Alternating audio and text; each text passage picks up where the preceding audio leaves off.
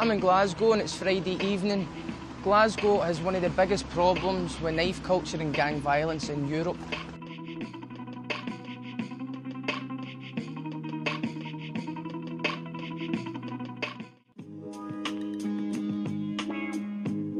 Glasgow's done a lot in recent years to improve its image, but the problems are still there in housing schemes like Pollok, where I grew up. I was a youth worker there and I got to see for myself what can happen to an area when it's left to rot over a generation. I've now moved to of Pollok and I live in a more affluent part of town. I'm just as skint as I was before, but I feel a lot safer. My heart's still in Pollok, but it doesn't mean that I particularly like to go back there. I'm standing on the Green Bridge in the area where I grew up. Now this bridge has traditionally been a place where gangs would meet to fight. We're going to see if we can track down some gangs tonight. So what do you, what do you fight for? To what else we going to do? Right in possession. To make sure that there are no shite bags. Knife for a joint? So that's the way it's going to be, man. Otherwise, they have to crunch life because you've been through my dad, you know that's life. Five. So it just follows on from then.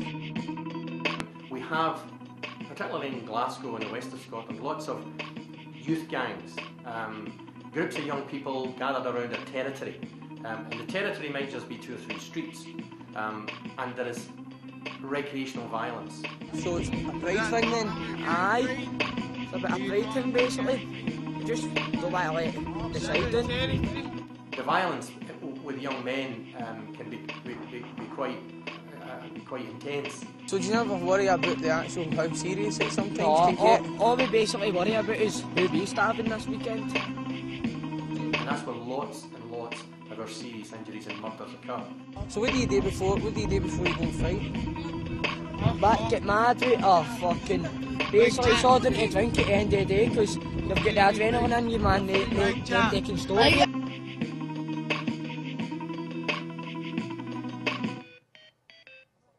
Young Ben!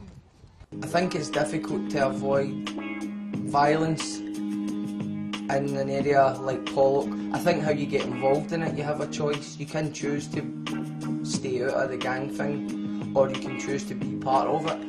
Um, I suppose I just resigned myself to the fact when I was younger that there was a chance if I walked out, out too far away from my own house, then I could get into a scuffle. Because most of the time it's people preying on what they perceive to be an easy target. That's how this sort of works.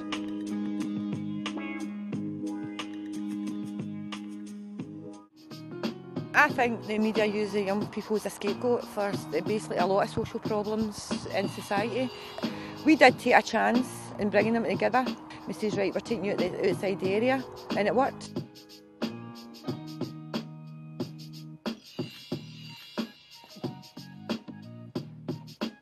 Before I joined the project, I felt unsafe, to be honest, unsafe to walk over all the fellow Pollok. But now, now that I've joined the project, I've now stopped from fighting, I feel more safe than ever.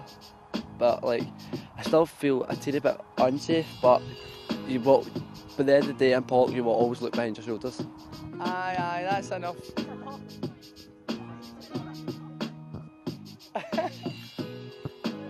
um, how do you feel when you, you see, even in your own city, how different it can be in one area from another area? I feel like a tramp, to be honest. I feel lower class? Aye, a lot lower class. Very lot.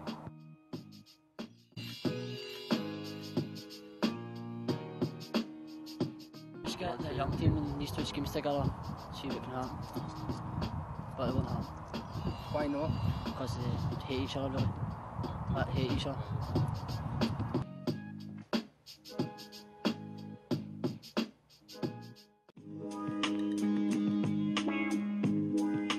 We're going to check out some of these websites. Uh, I know the young people are using them a lot to arrange things with one another, whether it be fighting or just meeting up or stuff like that. So I'm going to check out some of these sites just to see what I'm letting myself in for.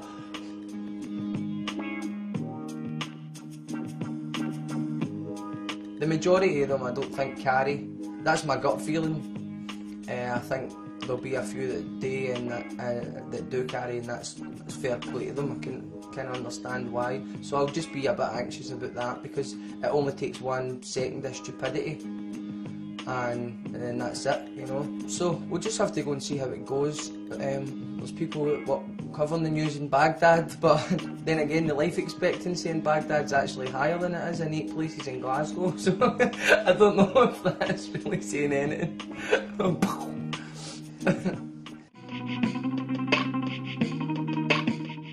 We know that they hang around this area pretty much. Uh, growing up here myself in the area, I'm familiar with the with the gang, and I'm also being honest saying that it's a place that I never usually would travel due to my preconceived ideas, and also that it's out of the three territories the furthest away from where I grew up. So I'm kind of anxious about that, and also the fact that uh, we're going to meet a, a group, group of quite likely rowdy young people. So I've got my, my Dutch courage in hand here. Um, which is probably not the most professional thing to do, but I did grow up here, so I know the deal.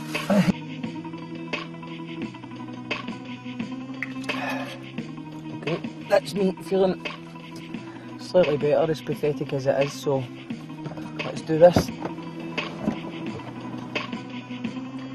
Where are you feeding? Pollok, right, what side of Pollok?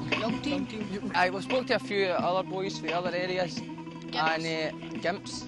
Right, what's a gimp for anybody who doesn't know? Gimps. So do you do you fight with? Cross and bushy, crookie. So when does that happen? Every night. Not Disney for At the weekends. no point. For... Right, okay. Word quickly got around that we were filming and a lot more guys turned up. At this point, uh, I began to feel a bit anxious. One of them then tried to grab the camera. Alright, guys. No, no, no, no. My instincts told me it was time to leave. Man. I don't know if I was being paranoid or perhaps I'd been spending too much time reading the newspapers. But when you're in a situation like that, you just have to go with your gut feeling. This character. Well, it's fucking Liam Parker, right? What's obvious is that there's no quick fix solution. To be fair to the police, they realise this too and are working to link up with the likes of education and social work services. Groups like the YMCA can help to make a real difference at local level, although their budgets are tight to say the least. This is a historical problem that may take more than a generation to solve, and unfortunately for me, I don't have a generation to wait. I just think it's a sad day that I had to leave the area that I grew up in because I never felt safe.